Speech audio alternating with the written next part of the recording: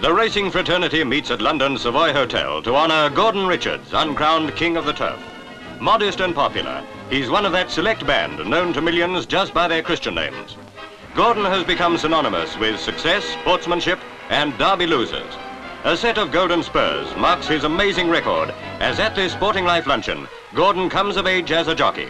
21 years after riding his first winner, he is honoured at an occasion unique in the history of racing.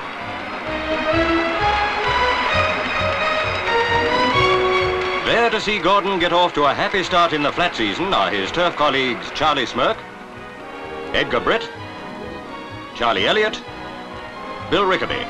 With 400 other guests, they hear to Richards in reminiscent mood.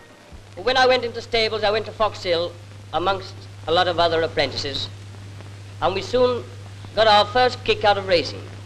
Getting on now for 30 years since I left a little mining village up in Shropshire. I never thought I should get so far along the road. But I suppose Dick Turpin never thought he'd get to York.